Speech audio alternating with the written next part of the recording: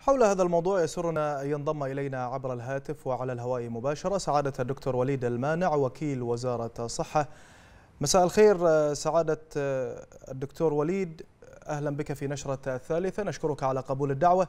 كيف تقرؤون تطور منظومة القطاع الصحي في مملكة البحرين في ظل العهد الزاهر لسيدي جلالة الملك المفدى خصوصا فيما يتعلق بتعامل فريق البحرين برئاسة سيدي سمو ولي العهد مع جائحة فيروس كورونا. أول شيء مساء الخير.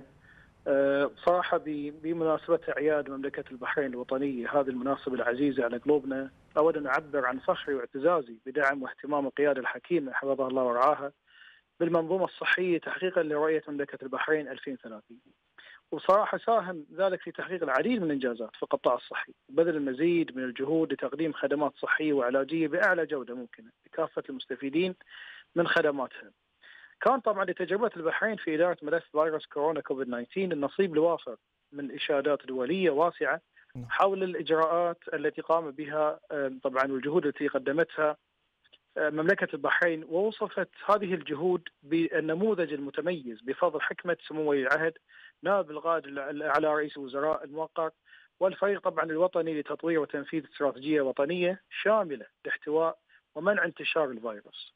والاستعدادات الاحترازية المبكرة اللي اتخذت والتدابير الوقائية للحفاظ على صحة المواطن والمقيم في البحرين. طبعا من أجل النهوض بالقطاع الصحي استمرت طبعا الجهات المعنية بتحسين جودة الخدمات الصحية والعمل نحو إنشاء عدد كبير من المشاريع التطويرية طبعا تحسينا للمرافق الموجودة تحت يعني مظلة القطاع الصحي وب يعني يعني اهتمام كبير من جلالة الملك الله يحفظه ويرعاه. وهذه البرامج منها مثلا بعضها صممت من أجل تحسين آليات العمل وتطوير الأنظمة الصحية مثل برنامج الضمان الصحي الا الحين طبعا قطع شوط كبير نحو تحسين الخدمات الصحية سواء في الرعاية الأولية والتسيير الذاتي للمستشفيات الحكومية وهذه شاهد على النقلة النوعية.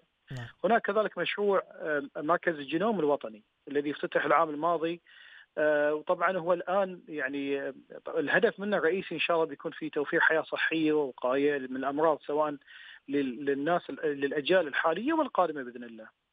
كذلك في هناك كثير من المشاريع الإنشائية الرائدة مثل قيد الإنشاء مثل مركز مدينة خليفة الصحي وكذلك تم الانتهاء من تسليم عدة مشاريع إنشائية تتمثل في مركز الشيخ عبد الله بن خالد الخليفة ومركز الشيخ عبد الله بن خالد الخليفة لغسيل الكلى ومشروع مركز سترة للرعاية الصحية الخاصة إلى جانب مشروع مواقف متعددة الطوابق السلمانية وكذلك توسعة طوارئ مجمع السلمانية كثير من طبعا نفتخر في مملكة البحرين بهذا النظام.